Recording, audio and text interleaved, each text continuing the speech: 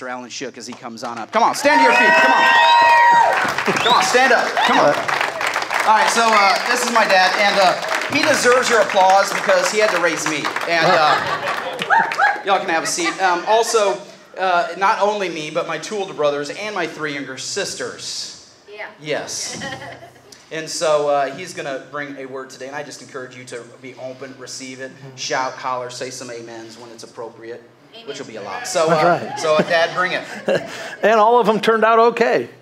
So we're all right with that one. Amen.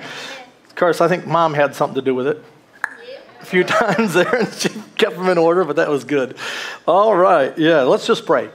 Heavenly Father, we step before you today, and we look into your word and have it revealed into our hearts, the things you've spoken to us, and we invite the Holy Spirit, the teacher of the church, to speak to us and bring revelation knowledge insights and things we haven't seen before brought to light within our hearts and spirits that we might know you and walk closer to you. We thank you for your presence here today.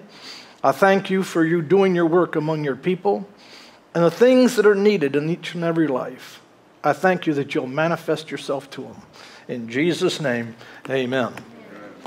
All right, I'm going to begin in uh, starting here with life, it's one of my favorite subjects. It's what happened to me when I made Jesus Lord and Savior of my life.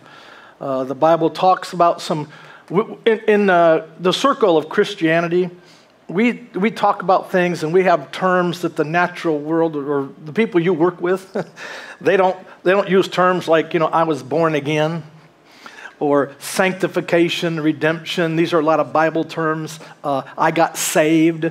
Uh, we, use, we use words like that in our Christian culture that sometimes the world doesn't understand.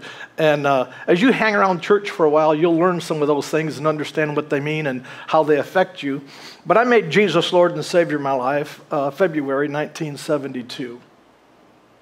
I was basically uh, on the road hitchhiking some of you remember the 60s and 70s, but you know, and I was going from Detroit to Chicago, and about halfway through the process, I met God out there on the road. I really had a road to Damascus experience, and uh, what we're going to talk about today happened to me.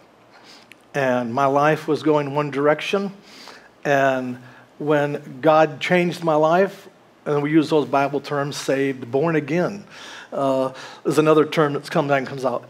But it did. It, it changed my whole nature. Something happened deep inside me of who I was, my character, my nature. It completely changed, and I was no longer the same person. The person himself changed. And I experienced what we'll look at is called the gift of eternal life.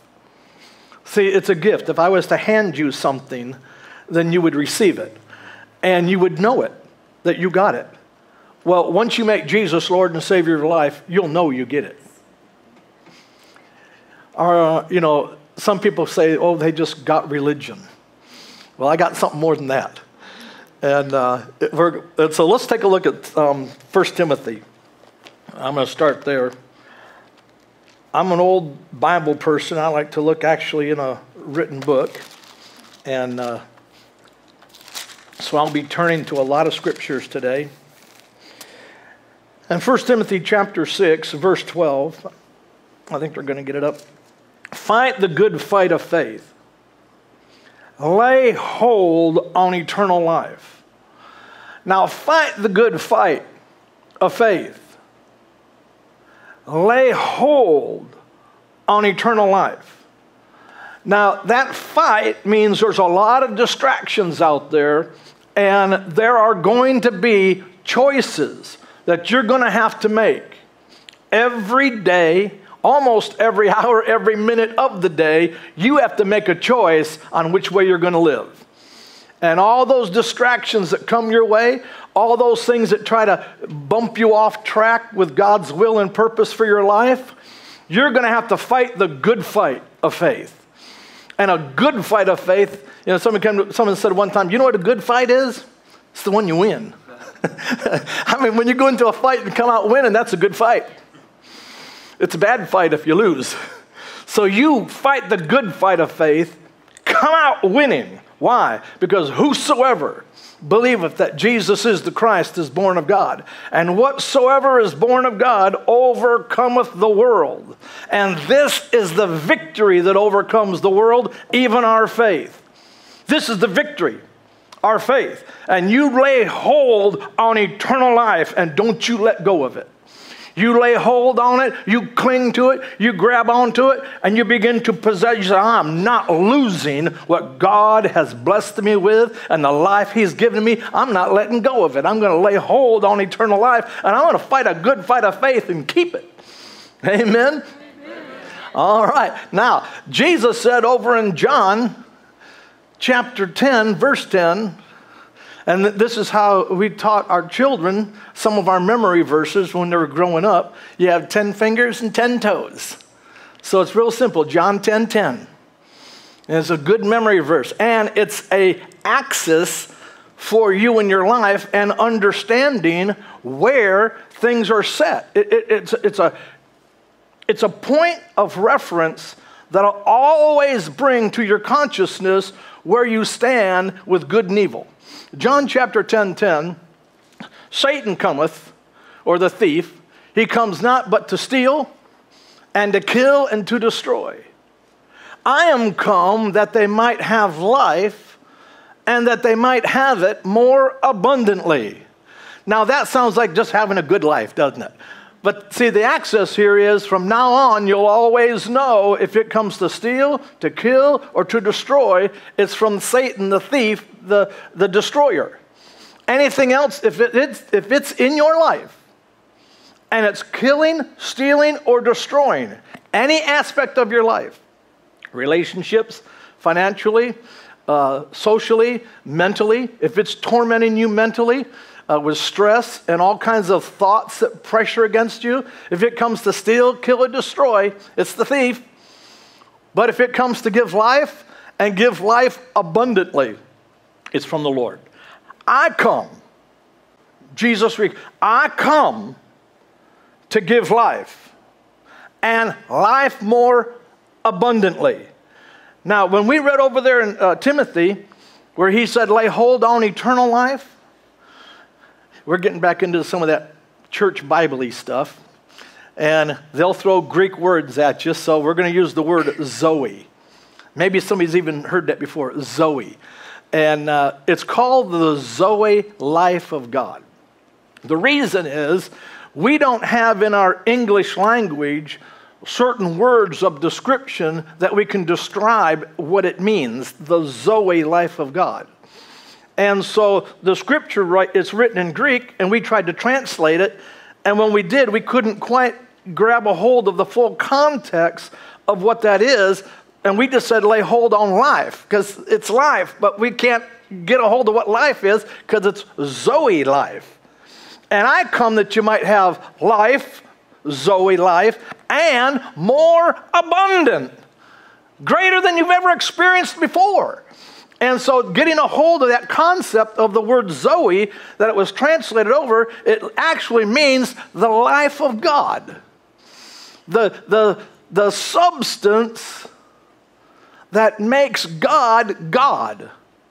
The, well, what's inside you that makes you alive? I mean, I, I, there's something inside you that makes you you, that makes you alive but you can't grab a hold of it or touch it. It's like it's not tangible. Well, that's that same substance, that force, force, well, I'm not in Star Wars, but anyway, it, it's, it's, it's, that, it's, that, it's that stuff inside God that makes him alive. He's life. And everything about him is life, and everything is life. And, and you, you take the life out, and you get God out, and the life is gone. All you have left is death. You don't, you don't want to do that. Everything in this planet would just, everything in here is alive. Everything has life in it. He says, I'm upholding all things by the word of my power. The word of my power, the word of his life. The word, his, his power is life. He's upholding all things. You take the life out, and, and I mean, everything starts to die. Well, what would happen if I took the life out of the oxygen, the air? Nobody lasts very long. To, to, I mean, everything on this planet is functioning because of his life. See, things in the spirit are the parent to things in the natural. Everything in the natural realm was made by and created by the realm of the spirit. It's the parent. And so spiritual laws govern natural laws. And that's why he says you can operate in a spiritual life greater than the life you have here and have it more abundantly. Because this life is an amazing life. And what's going to happen is, is when you make Jesus Lord and Savior of your life, eternal life was imparted into you. John 3:16. For God so loved the world that he gave his only begotten son that who would ever believe in him would not perish but have everlasting life. Something's going to be you're going to get a gift when you get born again and you're going to be transformed and changed totally different than you are today. So fight the good fight of faith and lay hold on that eternal life. Don't let go of it. This is not something that you're going to obtain when you get to heaven. Well, you know, when we get to heaven, we'll get eternal life. No, you got eternal life right now down here. This isn't something you get when you get there, it's something you have here. Uh, one fella mentioned this preacher was in an elevator and uh, at a big conference, and he's this Bible student came in and he'd just got out of the cemetery, I mean seminary. and, and, I wanted I wanted to ask the guy a question. And he goes, Can I ask you a question, sir? And you know, he gets in his old, I don't know, religious voice and whatever. Do you really think that the born again Christian life is experiential? He goes, Experiential? You mean, do I experience it? Yeah. Because if I don't experience it here, I'm not going there. And I'm not going to get it when I get there because I have to experience here. And so, yeah, it's experiential. I experience this thing. It's alive and living and real right here. Praise God. You can take a hardened criminal and unlock him up, or, or he's still running the streets, it doesn't matter. But the moment he bumps into Jesus and he gives his life to Jesus, don't you know there's a transformation takes place? He is no longer the same man. He, he's been crucified with Christ. And all of a sudden, he's gone and he's a brand new person. Eternal life had come into him. His sins had been forgiven. He's a new man. He's a new creature in Christ Jesus. Second Colossians or Second Corinthians 5:17. If any man be in Christ, makes Jesus Lord and Savior. What's that mean, making Jesus Lord and Savior? Well, it's more than just a thought or going to church or doing something nice. It's really, Lord means I'm going to make him my master. So, therefore, Lord, uh, listen, I'm not doing too good with my life, and I'm going to need some help here. I mean, on the outside, I look pretty good. I'm a nice guy. I, you know, everything's okay. Normal natural realm, everything would be stable and okay. And so, but good people don't go to heaven. Born again people go to heaven. People that receive eternal life go to heaven. Amen. Yeah. So I'm basically what I'm uh, saying is, you know, Lord. Uh, I'm making a decision to start doing things your way. And I'm going to ask you to help me. No longer my selfish way, but I'm going to start doing things the right way. Because, see, the right way is not always the hard way. It might be hard, but I mean, it's the right way. But I'm making a choice to allow you to guide me, you to direct me. I can follow you in all that I do and uh, I'm making you Lord of my life. You, you help me through this. Though that's when these things begin to change and happen and function in your life. When that takes place, the new nature of God enters into a man. Not does he just experience eternal life, but the change that takes place is the nature of God comes into him. 1 Peter chapter 1, and I'm actually going to read a couple scriptures before that, verse 1 Simon Peter, a servant and an apostle of Jesus Christ, to them that have obtained like precious faith. Man, we got it. Amen. I've obtained, praise Lord. And he says, to the, that with, through us the righteousness of God and our Savior Jesus Christ, grace and peace be multiplied unto you through the knowledge of God and of our Lord Jesus. And according as his divine power has given, this, isn't, this is not something I'm waiting for, has given unto us all things that pertain to life and godliness through the knowledge of him that has called us to glory and virtue. Therefore, there are given unto us exceeding great and precious promises. I got a whole book full of great and precious promises. They're exceeding. They've been given to us so that I might be a partaker of the divine nature. Uh, I'm a partaker of the divine nature of God when eternal life was put in me. And when eternal life came in, you know, death did leave from death to life. See, when you receive eternal life, death stepped out and you're no longer part of it. I'm now a partaker of God's divine nature and his nature flows in me. Romans tells me that the love of God, not mine, but God's love, has been put in my heart by the Holy Ghost. I can love you even if I don't want to.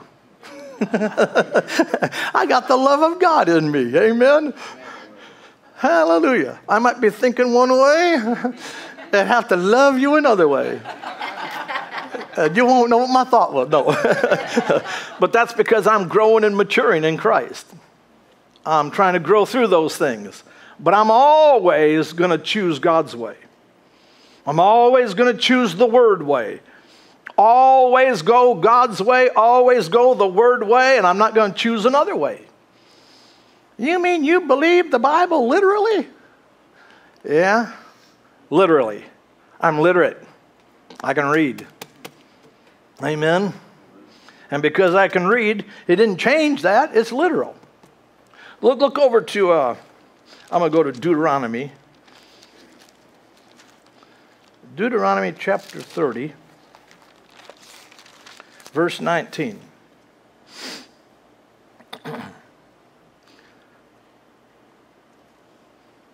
I call heaven and earth to record this day against you, that I have set before you life and death. Let me back up on a thought that the Lord just spoke to me about that. Remember the Garden of Eden? And He created Adam in the Garden of Eden, Adam and Eve and all, before Eve and County created all that stuff. He took a man, formed him out of the dust of the earth, and it says, and he breathed the breath of life in him eternal life, Zoe life. He breathed life in him, breathed life in him. And then he said, Now, over here in this garden, I got how many trees did he talk about? Two trees. One over here is the tree of what? The knowledge of good and evil. What was the other tree? The tree of life. Now, he could have said, now knowledge and evil, the, the tree of the good of knowledge and evil, will bring death. So here's a tree that'll bring death, and here's a tree that's going to bring life. You choose. You choose. And Adam chose wrong. And when he did, the law of Genesis, chapter 1, says every seed will produce after its own kind. Remember, I said there were spiritual laws that govern natural laws? The seed, the law of Genesis, is every seed will produce after its own kind. So, uh, by one man's offense, Romans 5:17, by one man's offense, death came upon all mankind. So when Adam sinned or transgression and partook of the tree of knowledge and evil, death, death came upon all men because now his seed passed to all mankind. But thank God there's a new man came. I came that you might have life and have it more abundantly. And a new man came on, and his name, Jesus of Nazareth. Amen. And he partook, and now he gives life to whom he will. And all who call upon him shall receive this new life. I set before you, let's go back to that verse.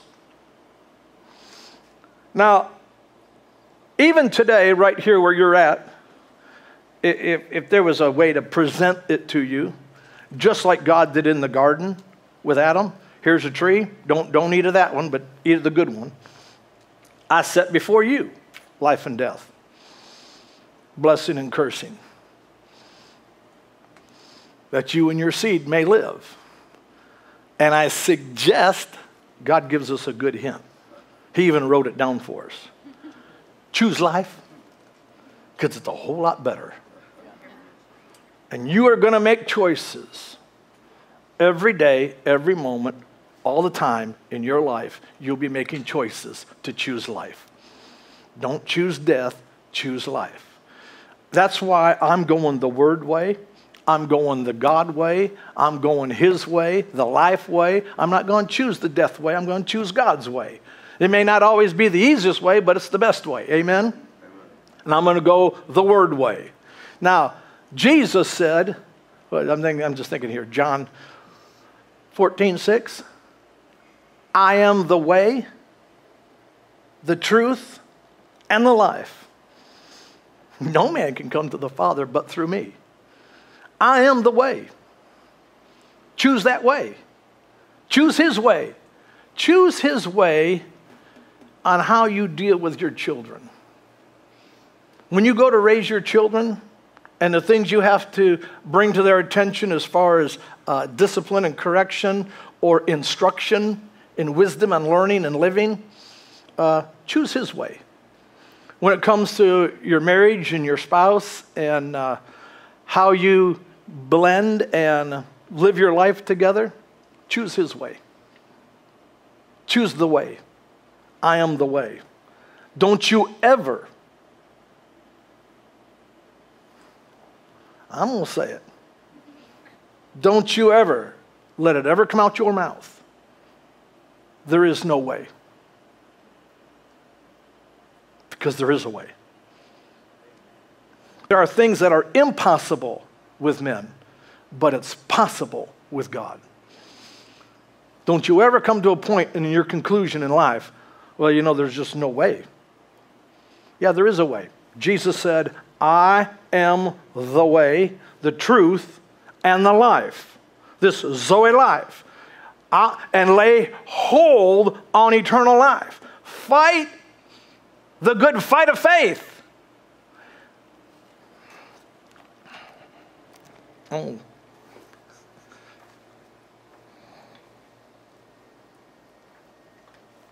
You're going to have to make a decision.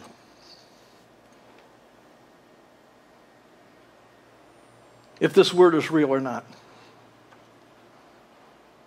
And you're going to probably fight some tough battles in life, but you'll see some great victories. I've, I've been in places and been in different situations where me and God decided, I just won't give up. I'm not going any other different way. Your word works. I've seen the miracles of the Bible. I saw my little girl, 16 months old, about a maybe an hour left to live, laying there. Nothing, the doctor said, What? No way? no way. I know the way. And first time back then, that I, I saw a lot of people say, you know, the pain is gone. I can't see your pain gone, but I'm, I rejoice with you. My headache's better. Oh, that stiffness in my back is gone. Oh, that heart problem I had is fixed. I can't see your heart problem fixed, but I rejoice with you. But when a little girl is laying on a bed, that they said is gone, and the, taking its, have you ever, and I've been around a lot of people in their last moments, and you wait, and you wait, and there go, wow, come on. And in the name of Jesus, I am not agreeing with this. And we ministered, and next thing I knew, instantly popped up, got awake, jumped off the bed, and ran off to play.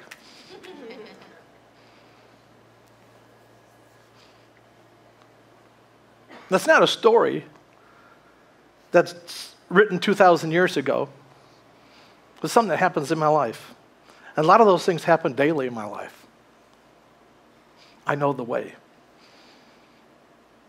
See, I was born again, not of corruptible seed, but of incorruptible seed by the word of the living God that lives and abides forever.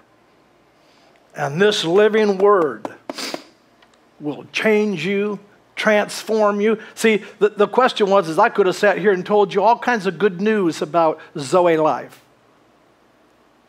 And oh, it would have been nice. That's nice. Yes, yes, that's, that's nice. That's good. Yes, excuse me. Yeah, that's wonderful.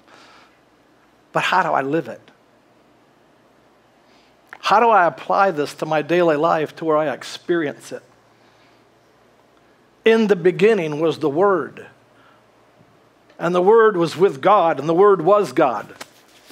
And all things were created by the Word. And there wasn't anything made that wasn't made by the Word.